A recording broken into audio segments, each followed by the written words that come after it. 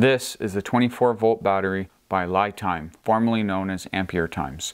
This is a 24 volt 100 amp hour battery capable of 2,560 watt hours of energy storage. This battery would work great for a trolling motor, a Growatt inverter, or a 24 volt inverter if you would like to downsize your conductors in order to save cost and reduce heat and reduce resistance on your setup. So is this battery worth your time and money? Well, let's find out. So you initially get the battery, you get a packet with four screws in order to connect your lug terminals, and you also get little caps to go over top of the screw to give you a little bit more protection. Also with the battery, you get a manual here that comes in a nice pouch with a zipper. We get our product manual. This is going to give you information on the product as far as size, discharge, how to connect uh, in parallel or in series if you would like. So handy manual here. That's the first time I've seen this. Uh, we get stickers. So we got a sticker booklet with uh, a bearded guy. So that's kind of cool. Share with us how it's changed your life, and then you get a quick start guide. So it's nice that they include some of this stuff. Okay, so let's take a closer look at this battery. Okay, we have a pretty standard ABS case. We've all seen and love this style of case.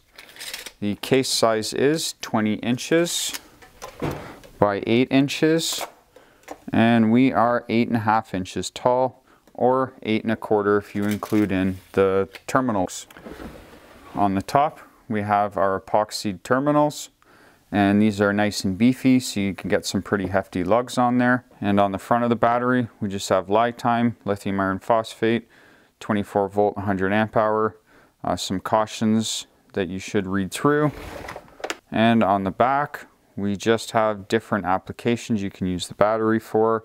2,560 watt hours, which we will run a capacity test. And we have a serial number on the top of the battery here. So let's take it over and run a discharge test. Okay, discharge test has started and we are discharging at about 19 amps. So this is just under a 0.2 C discharge rate. This test should take about five hours and I will be back then with the results. And the test is complete and we have 103.412 amp hours. So that is above the 100 amp hour rating of the battery, so this test is a pass. My favorite part of making these videos, let's open it up and see what kind of BMS, let's see what kind of cells, let's see what kind of wiring that they're using inside of this battery.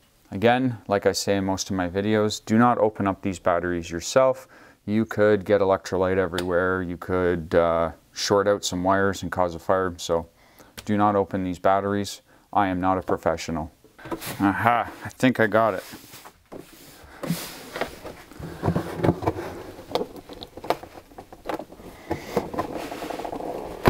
Okay. Whew. Let that glue smell go for a minute. Okay, let's see what we're working with here. On the positive cable, we have a number six silicone wire rated at 200 degrees. And we have a bundle of three 10 gauge silicone wire uh, connected here at the terminal lug. Let's, uh, I'm gonna get these off of here and I'll be right back. Okay, I got the lid off. Now let's have a closer look at this BMS. So from what I can see here, we have our heatsink on the top. We have soldered connectors on the P minus, and we have soldered connectors on the B minus. Now over here, we have our balance lead cables, and on this side here, we have a high temperature sensor. So this battery does not have low temperature protection, but in the manual, it did not state that it had it. So let me see if I can get these cells out of this case and we will see what kind of cells they are. And nothing special inside the case here. There is a bit of neoprene at the bottom here that's got some double-sided adhesive on it. Okay, and here's the battery pack and BMS. So wow, this is actually really nicely put together.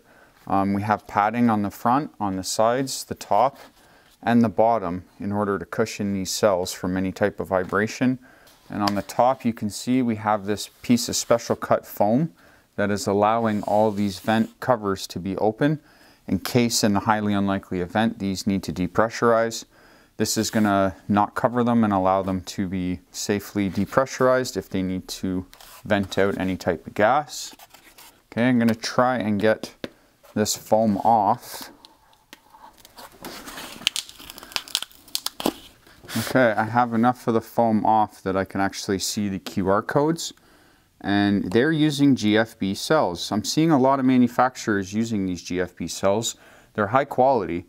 Um, let me get my cell phone out and I will take a picture of these and see if they're within the same manufacturing date. Okay, let's see. Okay, I'm going to take a screenshot.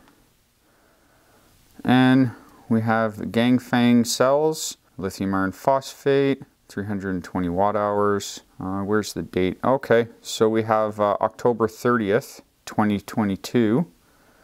Now let's scan another one. Oh, come on, that's a clear shot. There we go. And we have the 30th and the last one that I can get to. And we also have October 30th. So looks like all the cells are manufactured at the same time, October 30th. And on the BMS board, we have SH21F0B663X6.0. And looks like we have a manufacturing date of September 19th. The BMS was manufactured September, and then the cells were manufactured in October. And then the balance leads are all really nicely routed up uh, we have these plastic cell holders in each individual cell. The balance cables to be routed nicely and neatly. Uh, we also have laser welded terminal lugs. We also have our balance lead cables here that's tapped into the bus bar as well as we have it glued and screwed. So that's nice to see. Um, we have our main positive over here and our main negative on this side here. So I'm pretty impressed by this battery and the build quality. Uh, it's a 24 volt. It's at a decent price. So if you're looking for a 24 volt, I'm going to recommend this battery. So pretty easy video. Um, I love it when these batteries pass. Uh, if you like this battery, I'll leave links in the description below. Uh, please leave a like before you go. And thank you for watching.